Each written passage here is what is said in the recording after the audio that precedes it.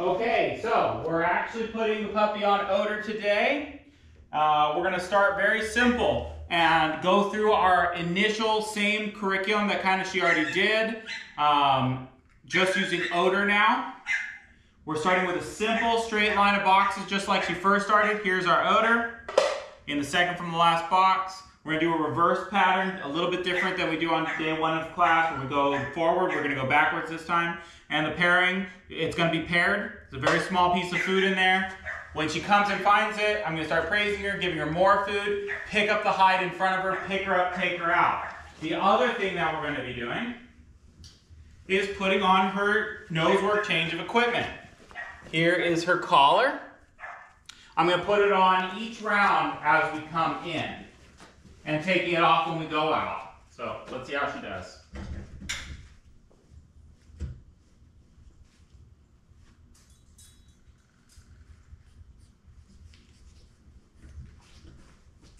Ready? Ready, ready, ready. Make sure you have food in your hand before you start introducing odor. Search.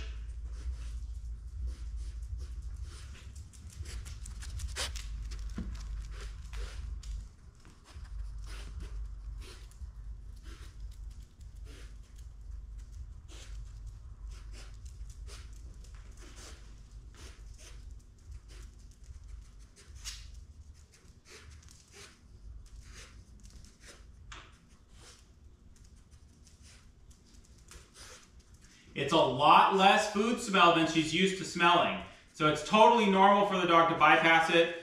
Right up there is where I cut all of the cheese that I'm using for her.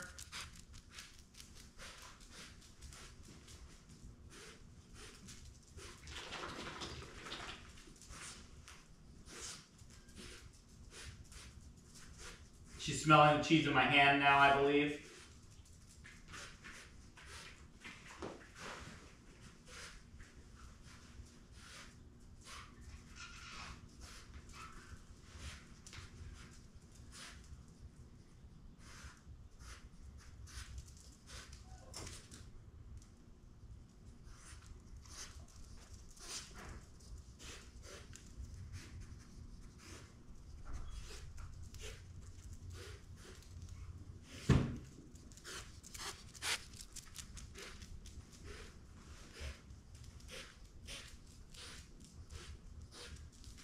Think she caught it there.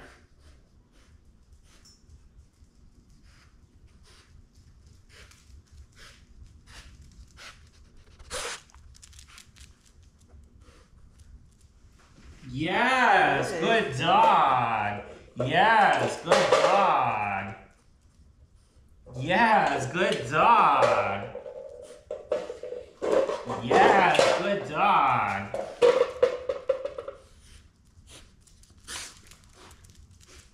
Yes, good job.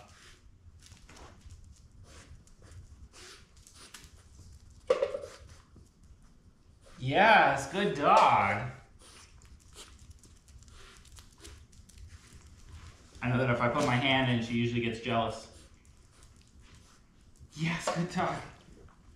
She's gonna teach herself a sit alert. Good dog. Good. That's it. Good girl. Yes. Yes. Good girl. Yes.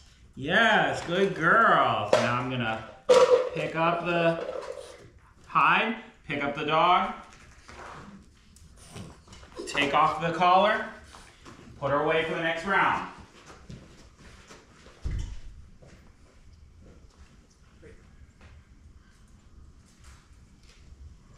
The latent learning of sitting in the crate between rounds is even more important uh, when we're introducing odor. This box is the residual box, still out here. We're moving the hide too closer to the threshold. There it is paired again. One of the reasons I'm using a reverse pattern starting for the end and moving towards the threshold is because I'm hoping the dog will miss it start to detail, start to sniff harder, and it's gonna make that imprinting of the odor even stronger. That kind of got that for free on the first round because she searched the whole room first before starting her actual search. So Let's see how she does on round two. And then we're gonna move outside of the containers and give her a free search.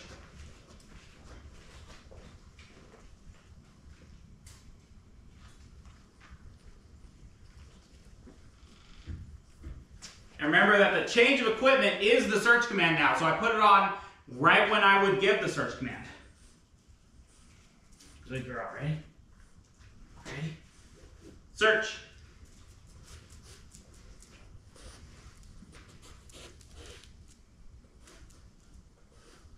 Yes, good job. Yes. Yes. Yes, good girl. Yes. Yes, yes. Yes, good girl. Yeah. Yes, good job. Yes. Pick up the hide. Pick up the dog. She's getting too heavy to be picked up.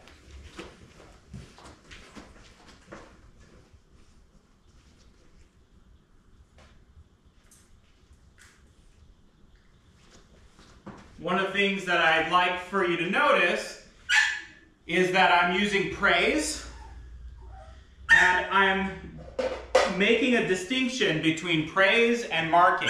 I'm not marking a specific behavior, I'm praising the fat finding of the hide and the head smelling the odor, classically conditioning it, and then when the dog leaves the bucket, I stop praising.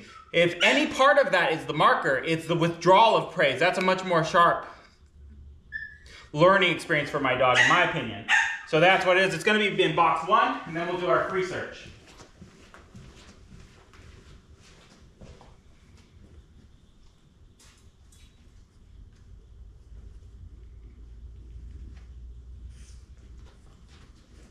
Ready? You ready? Hang on, wait for me. Gotta put this on. Ready? Search.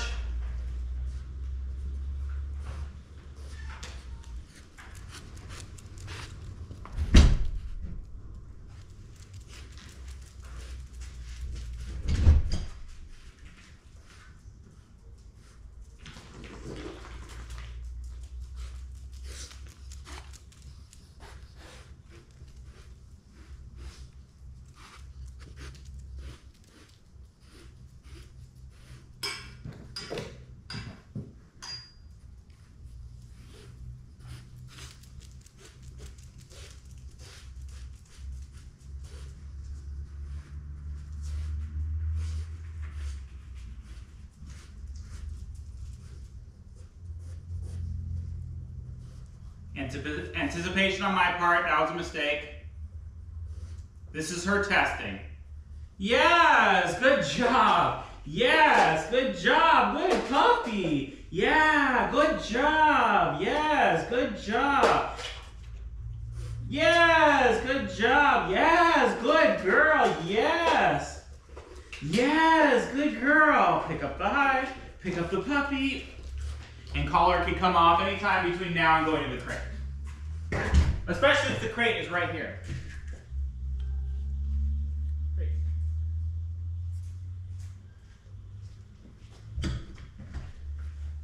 Okay, the free search is going to be fairly straightforward.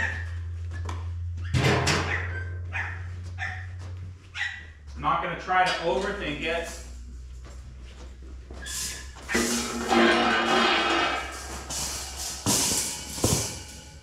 Hide number one, I'm going to put right here on the leg of the chair.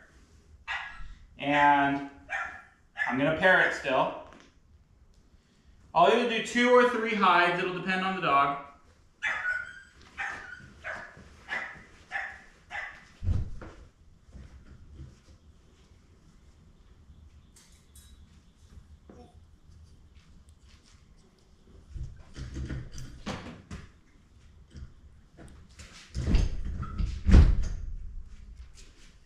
Ready?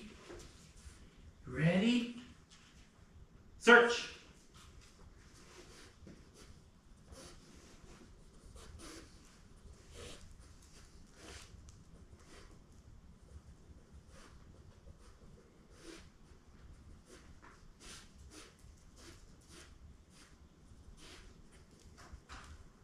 Yes, good job. Yes. Atta girl.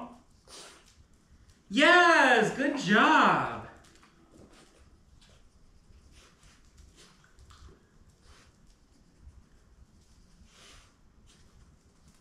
Now I want her nose to hit the tin exactly, and I've got a couple choices. To wait for her to have the intellectual experience of going to the hide, or to repair it. Uh, I'm gonna give her one more shot at it before I pair it. Yay! Good girl, yes!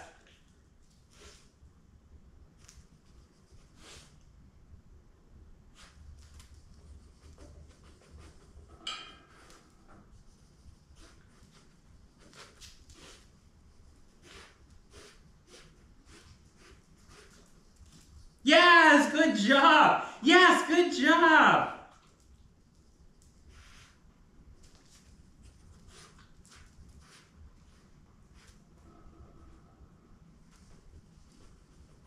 Yes, good girl. Yes, good girl. Yes, good job. Pick up the hide, pick up the dog. That was pretty good.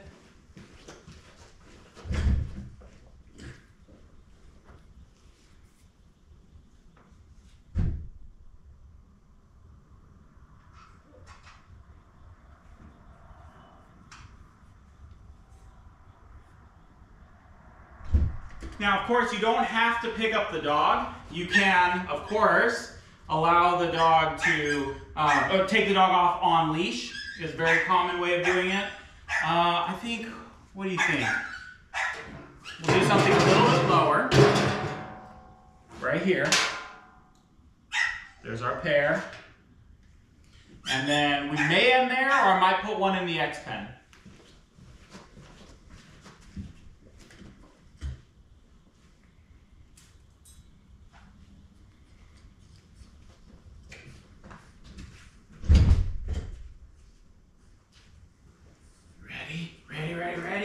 Search.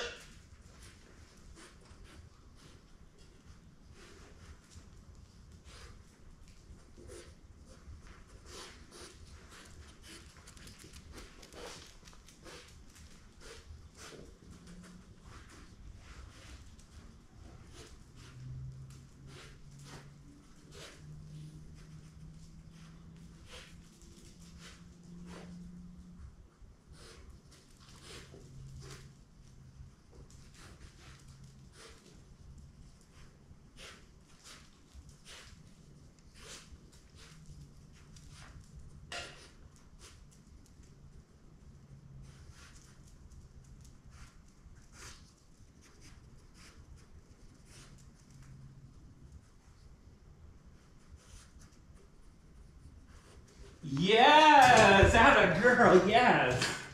Yes, good girl. Yes, good job.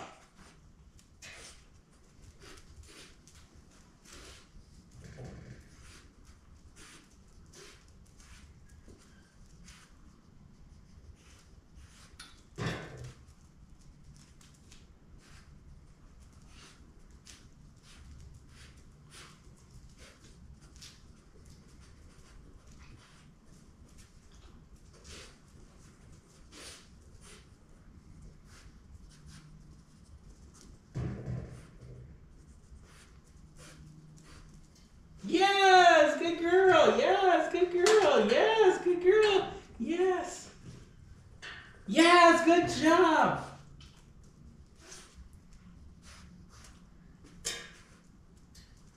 Oh, yes, good. That was early on my part. That's okay.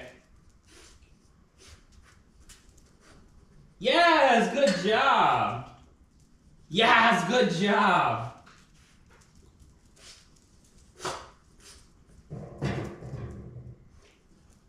Yes, good girl. That's it. Good job.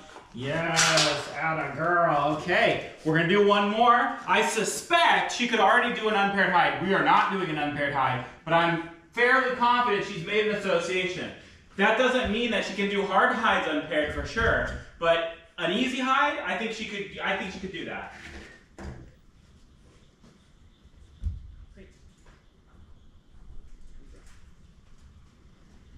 Okay, last one. And she's had a lot of cheese now. We're gonna do just on the floor. Real nice and simple. Right there. Last hide of the evening.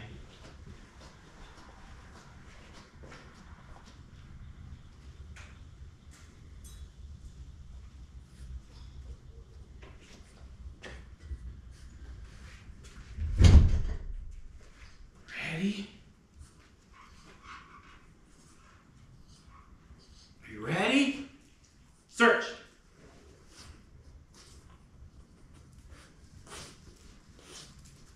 Yes! Good girl, yes! Yes! Yes! Yes! Yes! Yeah, good girl. Yes, good job. Yes, good job. Yes, good job. Yes. Yes, good job. Yes, good job. Had a girl. Yes, good job. Pick up the hide. And this time I'm not gonna pick up the dog, she's done. I think that was a very, very good session of Intro to Odor.